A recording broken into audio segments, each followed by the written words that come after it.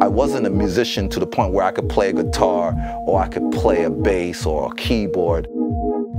The only way that I knew that I can even begin to have some sort of career in the music business, I had to create my own sound. My DJ background brings me into having a library of records. The greatest keyboards, the greatest guitarists, I have a collection of all their sounds. What can be done with them?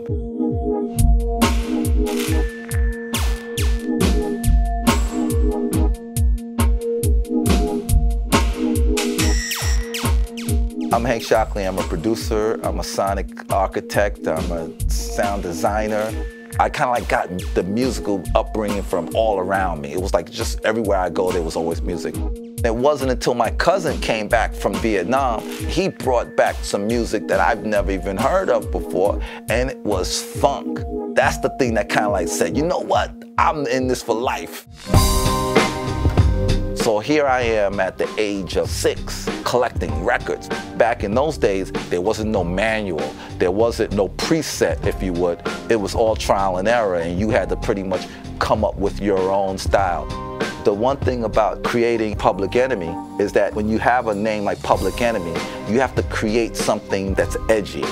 With the political rap that Public Enemy was coming with, the sound had to dictate that, had to drive that. I want to create that revolution, if you would. So when you listen to it, it comes across like a movement and not just a group or a sound. Early LinnDrum, 808 drum machine, DMX sounds, all those were pretty much stock sounds. And in order for us to have a sound that was totally different, we had to recreate the sounds of kicks and snares. And, and recreating them means that we had to reinvent what the sound of the kick and snare would be. At the time, we're doing electronic-based music in a world that's used to dealing with acoustic instruments.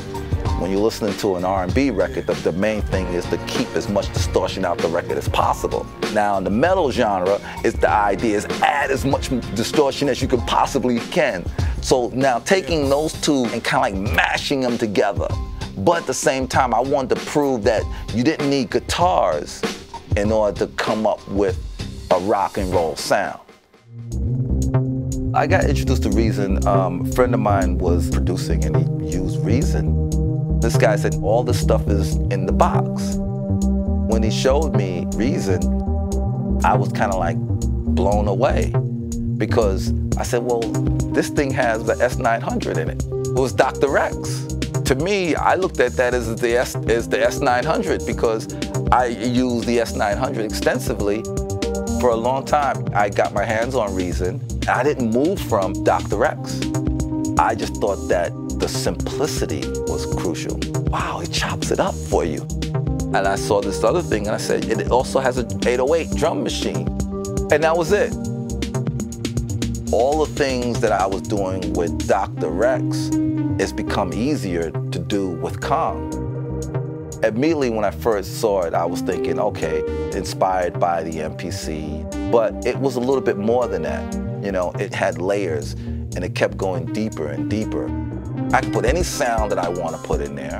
I can take Rex files, I could put a synth in there. You don't need anything else to make a really great track. The fact that you have your own effects on each pad is a killer. You know, there's times when your snares are just not you love the sound, but it just doesn't have enough crack to it. I could put a noise generator on it, tighten it up and give it extra kank, and then compress that. Now you could take traditional stock sounds and create your own. And especially in today's climate where everybody is sample suing everybody for anything. Nowadays, instead of taking stuff from records, you can recreate those.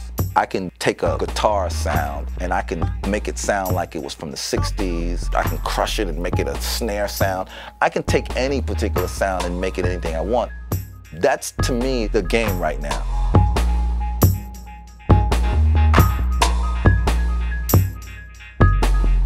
From a creative standpoint, it's like, it's utterly amazing. One thing that Reason offers for me, I could turn off my brain for a minute and I can just listen